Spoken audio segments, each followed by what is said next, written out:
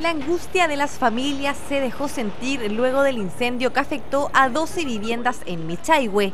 Y es que la escena de desesperación no dejó a nadie indiferente cuando tuvieron que sacar sus pertenencias a la calle para rescatarlas del fuego.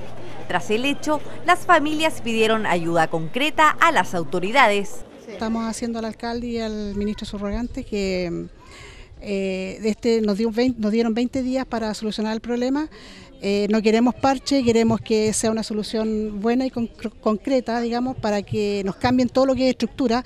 Aquí hay ocho bloques y todos los bloques están con una recubiertos con estructura de Cincalum. Ya la gente lo que más quiere es que le hagan el, el techo del cuarto piso, que ojalá que sea lo primero que se pueda hacer. Debido a la situación de emergencia, las autoridades recorrieron los departamentos siniestrados y se comprometieron con la ayuda, una inmediata y otra a largo plazo. Nuestro sistema tiene una forma de ayudar inmediata eh, que consiste en eh, colchones, eh, vajillería, alimentos, kit de limpieza y otro. Eso lo tenemos establecido por norma. Esa es la ayuda inicial. Y ahora entonces lo que estamos haciendo buscando, eh, haciendo el catástrofe de las otras situaciones que son distintas y que cada uno de los vecinos nos va a ir informando. Yo les pido que sean lo más veraces posible. En esa medida nosotros podemos responder mucho mejor. La municipalidad antes del incendio había iniciado un anteproyecto que cambiaría la infraestructura de los bloques siniestrados.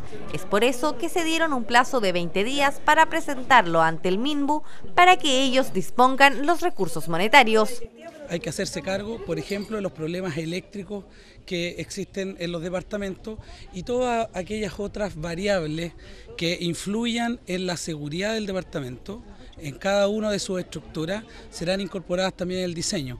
El programa de protección del patrimonio familiar busca mejorar eh, no solo el entorno, sino que también hacerse cargo de los espacios comunes, de la estructura eh, y de, de los bloques propiamente tal.